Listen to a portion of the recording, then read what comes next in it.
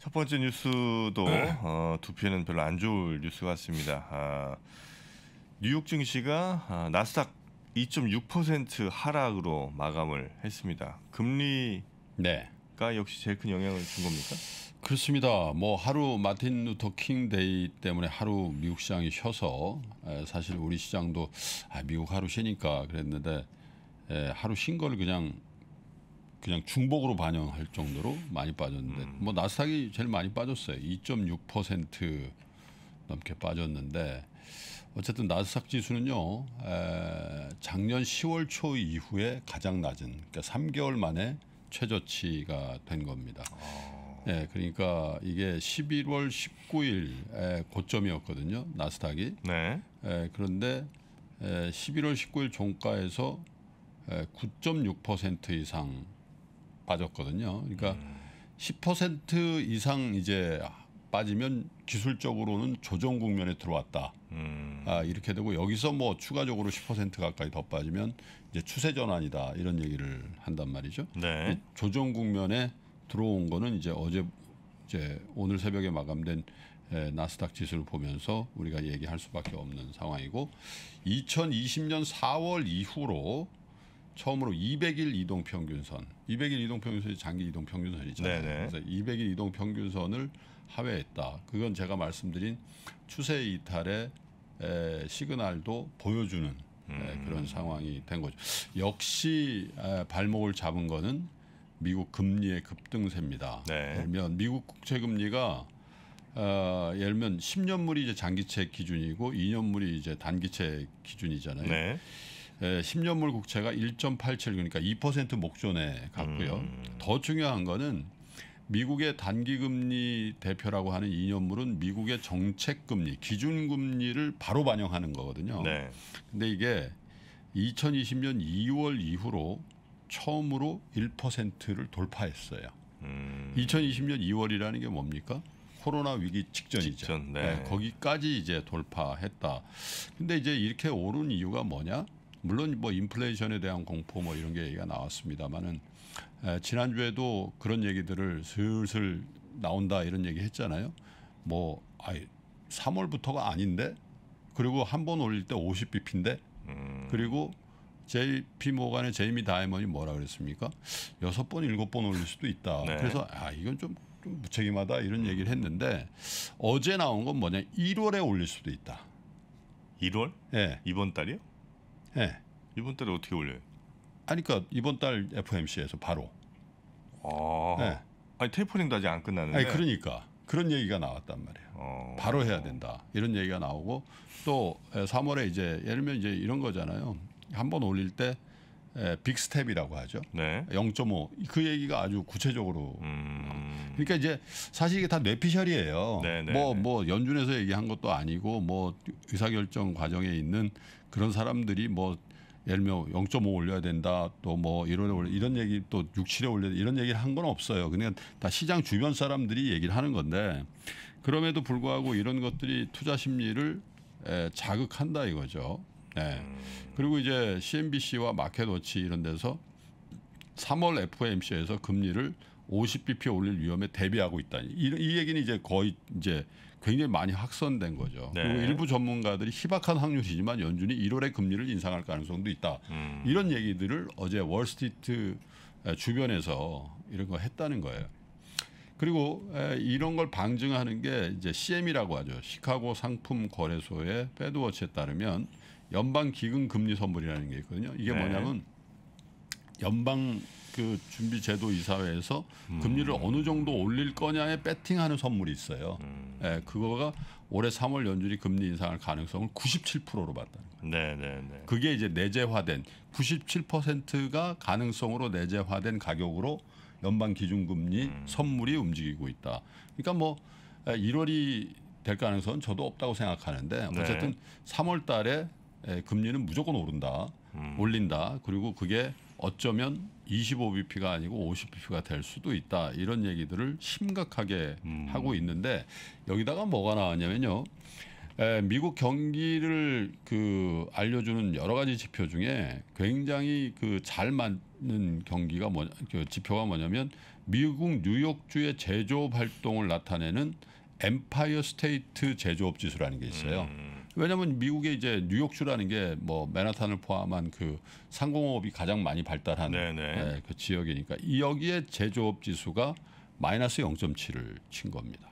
어, 예. 그러니까 전월에 얼마였냐면 31.9였어요. 네. 무려 그러니까 33%가 급락한 수준, 급락을 해버린 거죠. 물론 오미크론이라든지 이런 영향이 있을 겁니다. 근데 이제 영월 기준으로 경기 확장과 위축을 가늠하는데 이게 무려 1년 7개월 만에 위축 국면으로 돌아섰다. 그러니까 제가 이 작년 하반기에 뭐라 뭐 반복적으로 말씀드린 게 뭐냐면 QT라는 말이 우리 금융시장을 계속 회자되면 네. 이거 주식시장에 좀 심각합니다. 음, 아, 왜냐하면 뭐 테이퍼링 금리 인상 오케이 그것까진 감내했단 말이죠. 근데 quantita- quantitative tightening 그러니까 양적 긴축이라는 말이 동시에 나온다는 얘기는 에, 주식시장에는 사실 핑계거리를 찾기가 좀 어려운 그런 상황인데 하나 더 여기다가 첨가되면 정말 주식시장에 안 좋을 수 있는 게 뭐냐면 스태그플레이션이란 말씀드렸잖아요. 스태그플레이션. 자 어제 같은 경우가 물론 뭐 엠파이어 스테이트 그 경기 제조업 지수 가지고 이 뭐 이런 얘기를 할 필요는 없어요. 음. 그런데 아주 상징적인 결론이 나오죠. 금리 급등이죠. 네. 그 인플레이션에 대한 우려인데 미국을 에, 대표할 수도 있는 경기 지표 중에 하나인 엠파이어 엠파이어 스테이트 제조업 지수는 마이너스대로 반전해 가고 버린 있고. 거죠. 그러니까 뭐 그런 거를 이제 에, 말은 안 하지만 머릿속으로 어 이게 뭐지? 금리는 계속 오르고 인플레이션 압력 때문에 연준의 스탠스는 계속 강화될 것 같은데 경기는 그다지 썩 좋아져 좋아질 가능성이 별로 없어 보이죠. 왜냐하면 확진자 수라든지 이런 걸 감안해 보면 그렇잖아요. 네. 이제 그런 것들이 버무려지면서 에, 미국의 음. 에, 주식이 3대 지수 다 아, 휴일을 마치고 복귀하자마자 매물을 쏟아내는 그런 상황이 됐고요. 그 다음에 이제 미국 그 자산 가격 중에 우리가 주식 시장만 많이 봤는데 사실 이제 부동산도 뭐 케이스 실러 지수라든지 이런 것들이 굉장히 많이 오릅니다라는 얘기를 음. 드렸는데 전미 주택 건설업 협회가 발표한 미국의 1월 주택 시장 지수라는 게 있는데 이게 1월. 예. 네. 83입니다. 예, 그게 이제 예, 이것도 저 전문가 예상치를 하회했다. 그러니까 겨- 음. 주택 시장도 다소 이제 예, 화랑 국면에서 벗어나는 그런 모습이었. 아, 그래서 전반적으로 이제 금리의 상승 에, 이런 것들이 이제 발목을 잡는데 만약에 에, 국채 금리 10년물이 2%를 넘어가는 상황이 네. 발생할 수도 있어요 이번 달 내로. 음, 그러면 아마 시장 충격은 훨씬 더 커질 가능성이 있습니다. 왜냐하면 국채 금리가 이 추세를 이탈해 버리면 그 주식 시장하고 조금 채권 금리는 다르게 움직이는 게 방향성을 한 번 들면 상당 동안 지속되는 성격이 있거든요. 채권. 채권은. 네. 그래서 어제 채권 투자자들 예를 들면 기관 투자간의 채권 투자자들은 하종가 맞은 거예요. 예를 들면. 음, 네, 이 정도 물리면 올- 올라가면 음, 네, 채권 시장에서는 거의 야, 야 주식 시장이 지금 하종 맞았네 이런 느낌의 어떤 싸한 분위기가 연출이 됐는데 지금 앞으로 우리가 봐야 될 거는 에, 주가 지수도 물론 이제 봐야 되겠습니다만 미국의 2년짜리, 10년짜리 이 금리를 에, 매우 유심히 에, 지켜봐야 되는 그 구간으로 들어와 있다 이렇게 보셔야 될 것 같습니다. 네. 아주 뭐 우려를 지금 하시는 분들이 굉장히 많은데 어쨌든 저희가 이런 어, 상황들 계속해서 저희 예의주시하면서 어, 어떻게 상황들이 바뀌는지는 저희가 매일매일 라이브를 통해서 여러분께 네. 아, 보고를 또 드리도록 하겠습니다. 자 그리고 두 번째 뉴스입니다. 두 번째 뉴스도 어, 썩 좋아 보이지 않는데 그 UAE 아랍에미리트연합의 네. 석유 시설 피습 소식에 국제 유가가 뭐 7, 8년 만에 최고가까지 올라갔습니까? 2014년 이후에 최고가예요. 네. 그러니까 이것도 상당히 충격적인 거죠. 뭐 당연히 국제 유가가 이렇게 앙등한다는 거는 미국의 인플레이션을 더 자극하죠. 네, 네. 예, 그리고 국제 유가가 오른다는 거는 사실 경기에 좋은 건 아니거든요. 음. 예, 왜냐하면 이제 기본적으로 에, 가장 중요한 에, 이 커머디티니까 네. 이게 광범위하게 물가를 올리면서 사실 이렇게 되면 수요를 위축시킬 수도 있는 음. 그런 공급 side에 아주 안 좋은 그런 건데 이게 지정학적 리스크 로 일어나긴 한데 굉장히 좀 특기할 만한 지정학적 리스크가 구현이 발현이 된 거예요. 뭐 우리 대통령이 이제 뭐 그쪽 동네 그쪽에 가 있는 동안에 에, 일어나서 더 에, 충격이었습니다마는 에, 예멘이라는 나라가 있죠. 지도를 한번 보여주시면 네. 사우디 사우디 밑에 이 모잠비크 쪽에 이렇게 에, 연해에 있는 나라인데 저희가 굉장히 오랫동안 에, 11월 그러니까 내전 상태인데 네, 네, 네. 사실은 저 사나라는 데가 이제 예멘의 이제 수도 아닙니까? 근데 저게 이제 반군한테 이제 점령이 돼 있는 상태거든요. 근데 어쨌든 사우디를 비롯한 이 순위 쪽에 이, 여, 이 동맹국들이 저 예멘을 계속 공격하니까 음, 이저 예멘에서 예멘 반군들이 어디를 공격한 거냐면 1번이라고 돼 있는 아부다비를 공격한 거예요. 음. 아부다비는 여기 뭐 UAE라고 저 옛날에 우리가 뭐 토국이다 뭐 이런 얘기를 네, 하잖아요. 이렇게 여섯 개인가 일곱 개 그 토호 국가연합 같은 예. 국가연합을 만든 데게 음. 우리는 이제 UAE 하면은 가장 먼저 연상하는 게 두바이잖아요. 네. 이게 저도 이제 출장으로 한 두어 번 가봤습니다만 두바이는 이제 사실은 석유가 거의 안 나요. 음. 예, 두바이가 중심 국가가 아니고 네. 맏형 국가가 어디냐면 아부다비입니다. 네, 네, 네. 아, 전체 아랍에미리트의 석유 원유의 제가 알기로는 90% 이상 아부다비에서 나거든요. 그래서 에, 헤게모니를 장악하고 있는 건 UAE의 어떻게 보면 중심 국가 하나를 꼽으라면 아부다비거든요. 네. 그 아부다비를 공격한 거예요. 예멘 반군이 예, 예멘 반군이 석유 시설을 네. 그러니까 이제 아부다비와 두바이로 대부분 알려진 아랍에미리트는 사실 그 중동 지역에서 어떻게 보면 번영의 상징이죠. 음. 예, 두바이의 그 마천루 이런 것들이 네, 네, 네. 그러니까 이제 상상력을 발휘해 보십시오. 예를 들면 어 석유 두바이에 못 떨어지면 어떻게 되는 거지? 음. 불안하죠. 네. 그잖아요. 아부다비에서 뭐 두바이 뭐 멀지 않거든요. 차로 움직일 수 있는 네, 거예요. 거기 이제 서방 뭐 기업들 뭐 금융회사들 많이 아, 들어가 그리고 있죠. 저기에 어떤 돈들이 들어가 있냐면은 네. 검은 돈들이 저기에 엄청 들어가 있어요. 두바이에? 두바이에. 음. 예를 들면 이란 돈도 저기 엄청 들어가 있고 왜냐하면 바다 건너 바로 이란이거든요. 음. 예. 뭐 그리고 이제 러시아 쪽이라든지 네. 이런 돈들이 굉장히 많이 들어가 있는데 어쨌든 그 UAE의 석유를 가장 많이 예, 생산하는 아부다비를 폭격했기 때문에 이런 부분에 대해서 당연히 이제 뭐 사우디를 비롯한 동맹국들은 이제 반격을 하고 뭐 이런 상황이 이제 벌어진 거죠. 그래서 유가가 이제 움직일 수밖에 없는 상황이고 더군다나 이제 저쪽에서 서쪽으로 쭉 그러면 또 우크라이나가 있단 말이에요. 네. 우크라이나도 지금 정정이 아저 이 러시아의 전쟁 가능성이 아주 훨씬 더 윗동네에서. 네. 훨씬 더 고양이 돼 있는 상황이라면 물론 이제 석유고 뭐 가스고 이제 이런 상황인데 어쨌든 굉장히 춥잖아요. 네. 그런 상황에서 또 벌어지다 보니까 야 이게 원유 가격이 2014년 이후로 가장 많이 올랐다 이겁니다. 예를 들면 어, 브렌트유 이게 이제 1.7% 올라서 87.92달러까지. 예, 그리고 요 정도 딱 얘기가 되면은 당연히 어디가 출연합니까? 고마삭스 출연하죠. 골드만삭스 아, 네. 100달러 갈 수 있다. 네, 네, 이럴 네. 줄 알았어.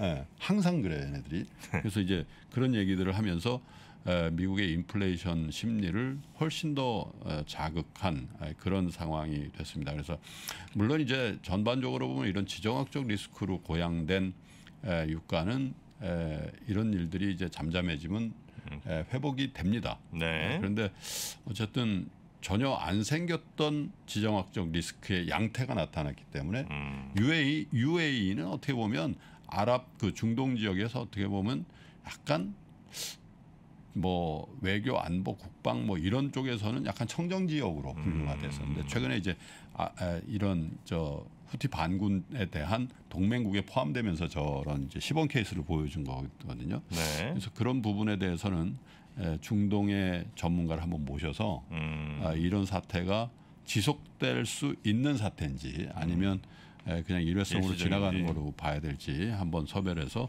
여러분께 좀 에, 소상하게 알려드리도록 하겠습니다. 네.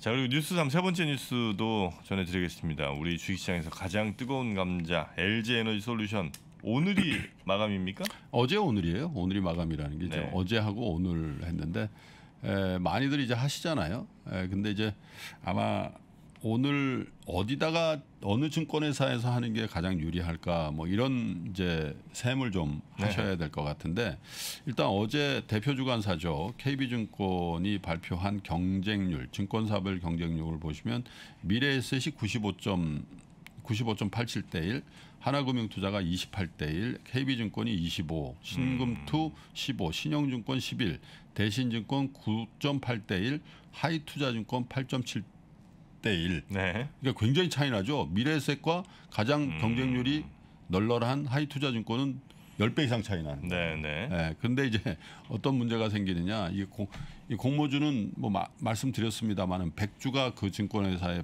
배정이 됐다. 예를 들면 음. 그러면 50주는 에, 금액 관계없이 균등 배분하고 균등 배분. 그 다음에 이제 나머지 50주는 금액으로 이제 차등 배분을 비례 하게, 배정을 하고. 예, 하게 돼 있는 거잖아요. 네. 비례. 근데 이제 미래 에셋 같은 경우는 어떻게 돼 있냐? 이게 경쟁률이 95.87대 1인데 최소 이제 이 10주를 청약을 해야 되잖아요. 네. 근데 이게 10주 청약한 분이 균등으로 한 주를 받을 확률이 41%. 그러니까 한 주도 못 아. 받을 수 있는 확률이 어제부로 발생한 거죠. 근데 오늘 또 청약이 있을 수 있으니까 네, 네. 균등 배정을 저 노리는 분들은 아 그러면 두, 뭐 예를 들어 10주씩 만약에 했다고 치면 네, 두명 중에 한 명만 받는 거예요? 그렇죠. 그럼 억울할 거 아니에요. 아니 그거 어떡 하겠어요, 뭐. 추첨. 아, 추첨으로 음. 갑니까? 그렇게 돼 있는 거죠. 야. 그리고 이제 비례로도 네. 200주 그러니까 3천만 원 청약자부터 한 주씩 받게 돼 있는 거예요. 음. 3천만 원 미만으로 청약한 분은 한 주도 못 받게 돼 있는 상황이 벌어진 거죠. 1억 넣었을 때도 한 세 주 뭐 이 정도일 가능성. 어제 기준으로 그런 거죠. 오늘 돈 더. 들어오면 1억에 한 주 받을 수도 근데 있겠네요. 많이 안 들어오겠죠. 이런 상황이니까. 예. 그러니까 이제 뭐 예를 들면 아까 말씀드린 것처럼 경쟁률이 낮은 하이나 뭐 예? 신형이나 신형이나 이런 데 몰릴 가능성이 있는데 이게 왜 이런 사태 이런 일이 벌어지냐면 미래에셋증권이 작년에 주관사를 엄청 많이 한 거예요. 음. 그 잘한 거지 회사 입장에서는. 계좌가 너무 많구나. 아니 그러니까 이제 이런 계좌들이 많으니까 내 계좌 어딨나 그러니까 음. 미래에셋에 걸릴 거니까 뭐 국내 일이기도 하고. 예. 예, 그 이제 이런 상황이 이제 벌어졌기 때문에 오늘 이제 오늘까지인데 사실은 이제 어제 경쟁률로만 따지면 어 이거 뭐 10대 1도 안 돼 이러지만 사실 누가 먼저 넣는 분들이 많지 않잖아요. 음. 그래서 오늘 많이들 이제 청약을 하시게 될 텐데 에, 아까 제가 말씀드린 에, 증권사별 에, 경쟁률을 좀 참고하시되 이게 아 김프로가 뭐 저 하이투자증권 대신증권 여기 가면 더 널널하다는데 이건 이제 이걸 이 뉴스를 또 보셨기 때문에 어제까지 상황이 예, 이렇다는 일로 또 거고. 몰릴 수는 있죠. 네. 그렇잖아요. 근데 어쨌든 확실한 거는 에, 미리 이제 경쟁률이 이렇게 높아진 데는 사실 가능성은 거의 결정이 돼 있는 상태이기 때문에 음. 좀 참고를 좀 하실 필요성이 있겠다 이런 말씀을 드려드립니다. 근데 이게 결과가 좋아야 될 텐데 지금 장 분위기로는 네? 어떨지 아, 모르겠네. 30만 원이 이제 시작인데 음. 여기서 어떻게 될지는 한번 뭐 살펴보도록. 하겠습니다. 자, 그러면 어, 뉴스 3 이렇게 세 가지 네. 뉴스로 정리를 좀 해드리고요. 우리 또 박병창 부장님 바로 모시고 어제 미국장 또 우리 장 정리와 우리 오늘의 시장 어떻게 될지에 대한 이야기 한번 잠깐 들어보도록 하겠습니다. 가만히 계십시오. 예, 맞습니다. 그렇게 투자하십시오. 세상의 변화를 애써 무시하십시오.